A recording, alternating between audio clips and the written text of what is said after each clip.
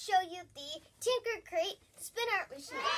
So me and my mom put together these, this spin art machine and it only took like 20 minutes. And if you guys want to see more videos, make sure you like, subscribe, and comment. So this took 20 minutes, like I said, and it comes with all the items needed. So you don't need to go buy paint. I mean, you can because it only comes with these colors. So, but it basically comes with everything you need. And here's one that we made earlier, and it looks super cool. And if you want it to look amazing, you have to add lots and lots of color.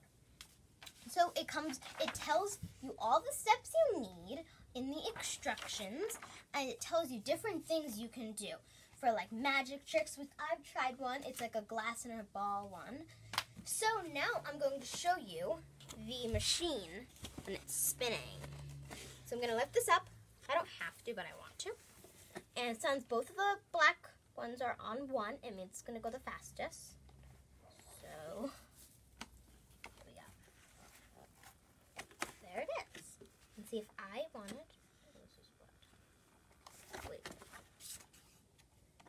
So I'm going to put this on it so you can sort of see what it looks like when it when it's on it.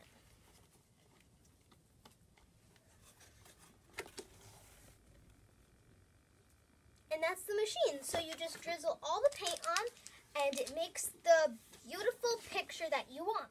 So that's the spin art machine and if you want to see more Tinker Boxes, definitely like this video and subscribe below. Bye!